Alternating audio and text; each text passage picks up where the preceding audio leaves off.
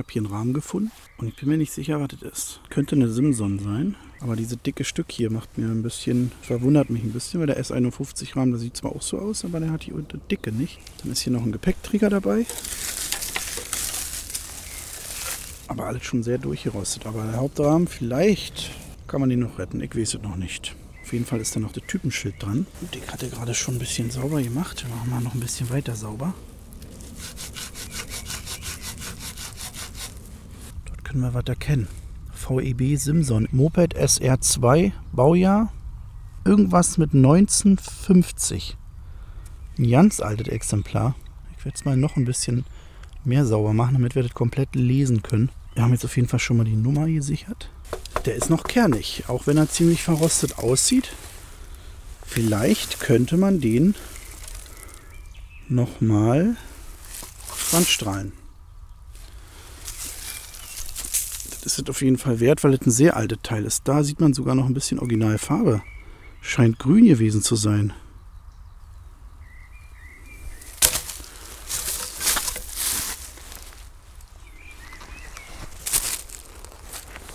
Da steht Suhl. Ist eigentlich logisch, ne? VEB Simson Suhl.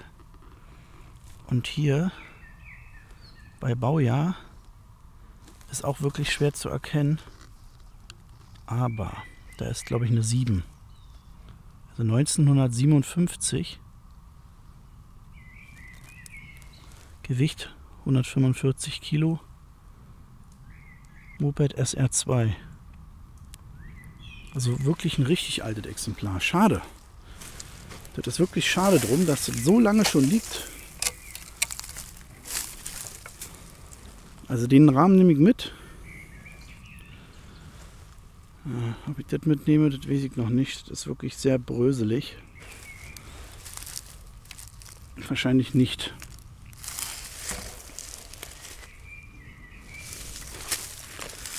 Ich werde mal ein Foto einblenden, wie so eine Simson SR2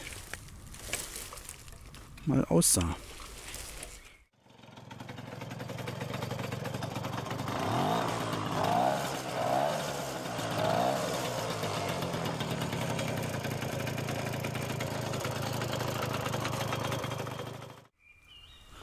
Eine Axt. Ziemlich gut erhaltene, moderne Axt. Und die ersten Mücken sind da und greifen mich an. Das ist natürlich doof. GDR. Da will ich mal schauen, was da drauf steht. Moment. Mücken.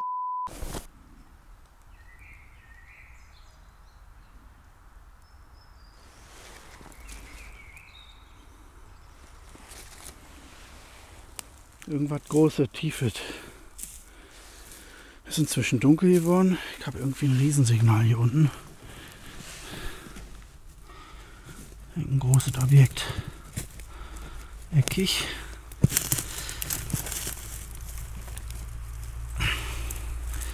Kriegt man noch nicht raus.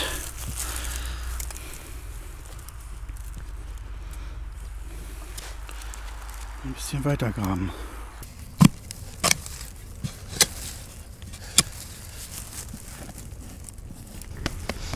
Nur eine Ofenplatte oder so, ne? Ofenklappe, ja. Oh, bin ich das? Nee.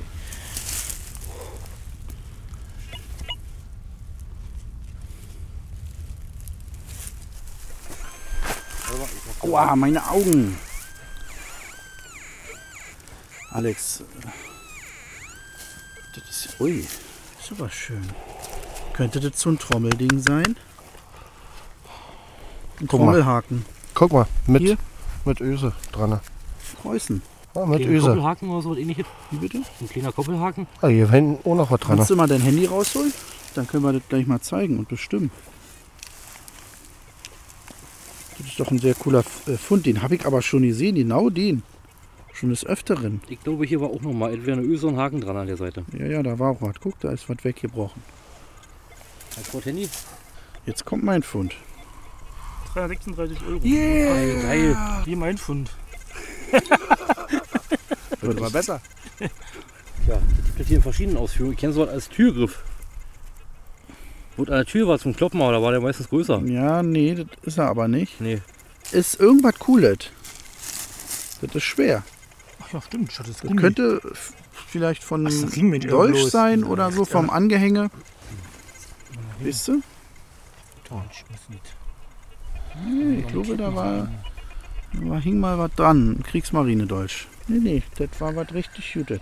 So, nach langem Suchen habe ich jetzt einen interessanten Fund gemacht. Scheint eine Art Emblem zu sein. Ich werde es gleich sauber machen. Alex, Rico und Silvan sind mit dabei.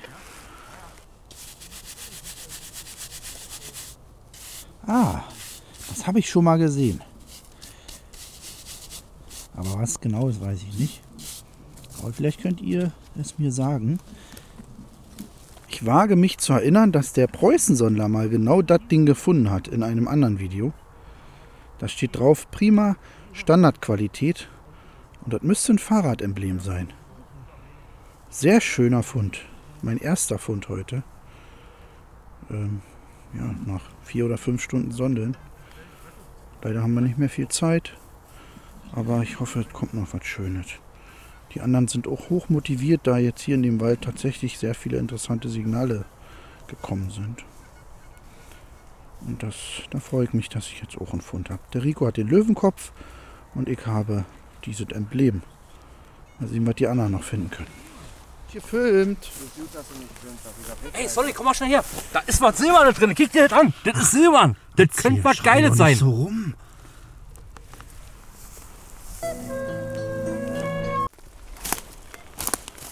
Was hast du denn da gefunden? Ja, irgendwie ganz oberflächlich.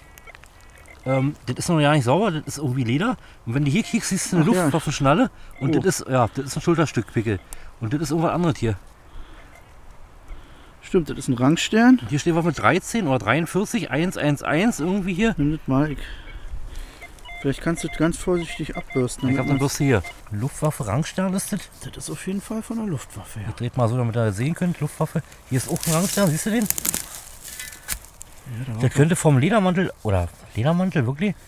Ah, der hat doch nicht für Schultern die Dinger gehabt. wie nennt man denn die Kleinen? Die schwingen. Das sind Luftwaffenschwingen, die sind eigentlich vom, vom, vom, vom, vom Kragen eigentlich. Aber der hat doch die nicht auf, dem- auf dem Arm gehabt, oder was? Das ist denn das Größere da noch mit dran. Das hier, Ja, das hier.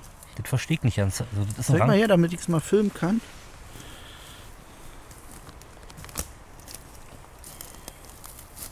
Um Müllers Willen. Ah, das sind hochwertige Rangsterne. Guck mal hier. Ja, was das in der Mitte war, verstehe ich nicht. Das hier. So, googeln, alle Fotos findet, wisst es dann. Und hier steht 43111. Was ist das? Auch auf ein Stück Leder drauf. Warum? Verstehe ich nicht. Da ist er. Komme ich nicht so ganz klar, was das sein soll. Das kennen wir doch nur von der Kragenspiegel normalerweise, die kleinen, äh, ähm. Die kleinen Dinger.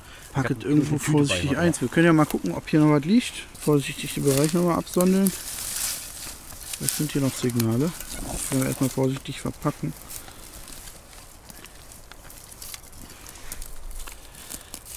Sichergestellt. Sicherstellungstüte. Verplomben. Schilp sie über meine Hand. Dann muss ich es nicht reinwerfen.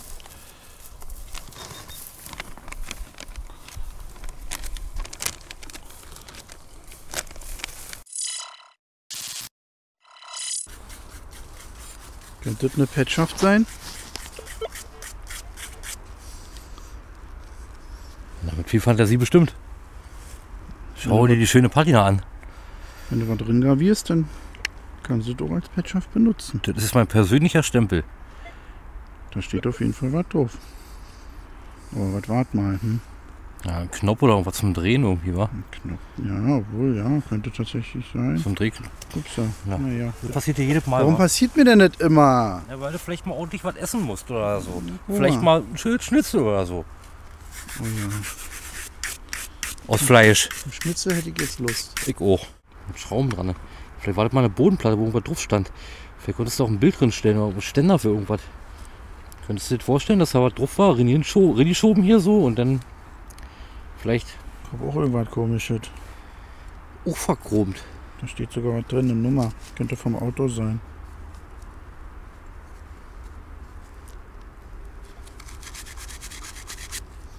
Oder? Oder. Alter, das ist der Flügel. Von einem ganz großen verchromten Reichsadler. Hm. Rechts. Hm. Der rechte Flügel. Hm. Oder der linke halt. Ja. Nee, der rechte.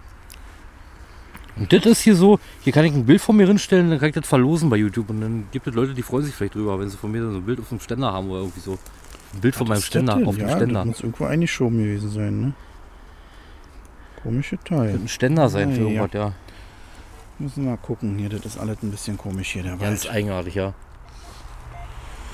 Schuhe liegen hier auch schon wieder rum im Wald. Hm. Famos. Das ist ja sehr famos. Oh, das ist eine Ameisenwohnung. Platziere ich lieber wieder dahin. Wollen ja nicht das Ameisenhaus zerstören. Hat auch jemand gefunden. Es könnte eine Schnalle sein. Das ist eine Schnalle. Von so einem Rucksack vielleicht so. Oder eine alte Tasche. Na, letztendlich ist es ja sowas hier, wie am Rucksack, wie du so hast. Hier unten du an. So. Und dann machst du das Band lose oder fest. Ja, das sieht genauso aus. Hat sogar, ist sogar so ein Nippel dran hier. Ne? Mhm. Zum Anfassen, ja. Ein Anfassnippel.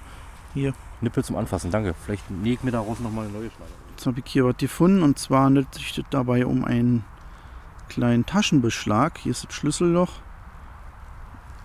Vielleicht ist auch die Schnalle, die Alex gerade gefunden hat, von dieser Tasche. Sieht aus wie von einer Aktentasche oder so.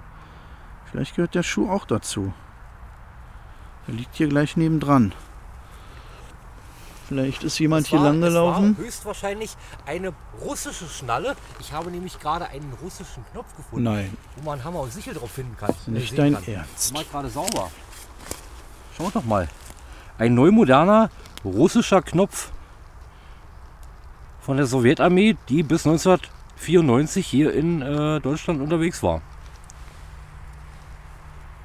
Mhm.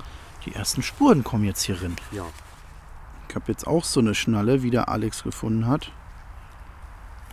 Direkt einen Meter daneben.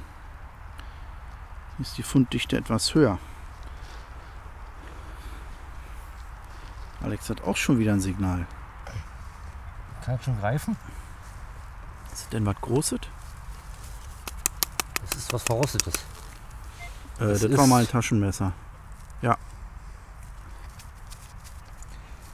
Da hat jemand seine russische Tasche mit einem russischen Knopf und einem russischen Taschenmesser, Taschenmesser liegen lassen. Tassenmesser. Tassen, Tassenmescher. Aber das ist ganz schön verrostet, Ja. ey. Das können wir nicht wieder herstellen, restaurieren, oder? Nee, das musst du nehmen. Und das nehme ich jetzt mit, ja, genau. Also hier haben wir jetzt wieder so eine Schnalle. Da ist sogar noch Leder dran. Und ganz viel Stoff. Und hier ist noch mehr Leder. Denn die Schuhe noch dazu.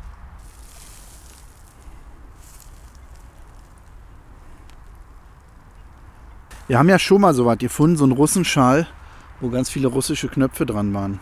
Ja. Könnte auch so was sein. Schauen mal weiter. Da, nächste Schnalle. Noch so eine Schnalle? Ja. Ich hab so einen Knopf. Russischen. Echt? Mhm. Hä. Der lag jetzt einen Meter daneben. Hier sind Signale. Also ich würde sagen, ich habe mal wieder den Vogel abgeschossen. ja, der Vogel. Wo ist er denn? Ja, hier ist der Vogel.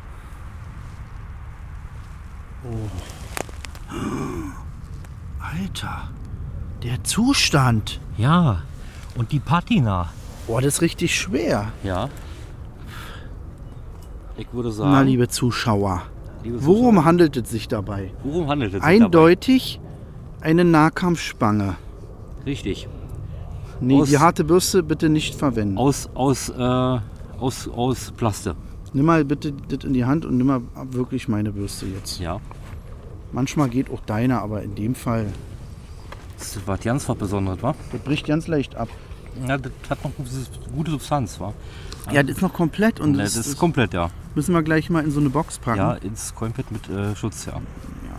Das ist was Schönes. Vielleicht liegt die Mütze Pass auf, noch die hier. Zacken können abbrechen ganz schnell. Weil in dem guten Zustand, Haben wir das noch nie gefunden.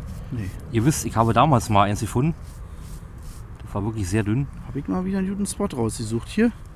Vielleicht. Ja, du hast schon mal eins gefunden. Ich habe, Ja. glaube ich, noch keins davon. Aber jetzt müssen wir mal gucken, ob das jetzt wirklich so ist, wie das an der Mütze war. Die hat nämlich, der hat keine Aufnählöcher. Die sind ganz oben in den Spitzen, die Löcher. Vielleicht sehen wir die jetzt gerade nicht. Hm. Also das ist ein Edelweiß natürlich. Und in einem wunderbaren geschichtlichen Zustand. Also mit einer schönen Patina. Da hinten äh, scheint so was wie eine Clip zu sein. Bürste mal die Rückseite noch. Da müssen wir mal filmen. Guck mal, ich wollte deine Bürste klauen. Ey! Die ist bei dir in der Tasche dran, ich steck sie bei mir in der Tasche. Ja, das ist das Sicherheitsband, damit das nicht passiert. Gut. Machen wir die Rückseite nochmal hier. Vorsichtig.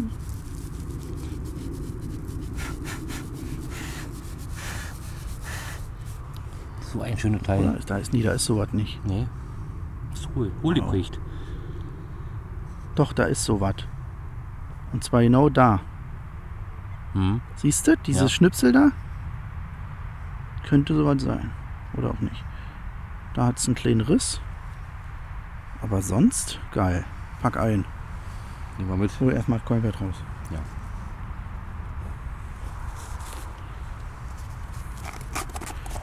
Da hat sich. Was ist das denn alles? Eine andere Funde, die Eine andere habe. Funde, das ist ja auch ein Abzeichen, was da noch drinnen zerquetscht rumliegt. Na, das ist aber so, das ist ganz dünnes Abzeichen. Naja, dann brauchen wir eine andere Box. Ja. Ich hab auch noch eine mit, dann machen wir das darin. Musst du mal auslernen zu Hause, Alex. Ja. Deine Funde. Nicht, dass das Edelweiß dann beim nächsten Sondelausflug immer noch drin ist. Und völlig zerdrückt. Völlig verschoben, ja. ja. Mann, sowas muss in eine Vitrine. Auf jeden Fall. Das ist ein wirklich guter Fund. Ja. Da müssen wir erstmal nochmal fotografieren für die anderen Leute. Kannst du ähm, aus meinem Rucksack, die, die kannst du nehmen, diese Packung. Hast du die? kann ja auch die Sonics World of Interest Dose nehmen. Die kannst du auch nehmen, ja. Na los. Genau. Da, mal gucken, was da Oh, ist. nein, da ist bestimmt unerwartet. Oh! Nee, da ist nichts drin. siehst? Nee, ist leer. So, genau daneben ist noch ein Signal. Aber vorsichtig, Kram. Jetzt mit der Hand. Neben dem? Edelweiß. Ist das dann ein, großes, äh, ein hohes Signal? Ja. Knopfmäßig oder Jetzt wächst eine Hand. großen Knopf? Ja. Was hat denn der Russe mit den Edelweiß zu tun? Weiß ich nicht. Der hat sich geklaut. Ja, da sind noch mehr Knöpfe dann. Wir haben inzwischen übrigens um die 20 Russenknöpfe hier gefunden. Hab die alle ja nicht mehr gefilmt. Da, noch einer. Und der glänzt aber noch ein bisschen mehr. Mhm. Komisch. Auch verschiedene Größen. Ich sagte, naja, sind- Ja, große, kleine äh, und irgendwie helle, dunkle. Wir melden uns wieder, wenn was anderes außer Russenknöpfe kommt. Weil das ja doch Ja. Sehr monoton ist. Immer die gleichen Knöpfe kommen. Eine Münze. Eine deutsche. Eine große. Sieht silbrig aus. Hindenburg oder was? 5 Reichsmark Hindenburg. Nee. Doch. Nee. Doch. Nicht wirklich, oder? Warum? Dann zeig mal her hier. Wieso? Ja, guck mal her. Bist du jetzt neidisch oder was? Naja, ja. 50 Pfennig. Sich Regen bringt Segen aus Aluminium. Datum kann ich jetzt nicht erkennen. Moment, das sehen wir gleich. Muss mal ein bisschen frei rubbeln.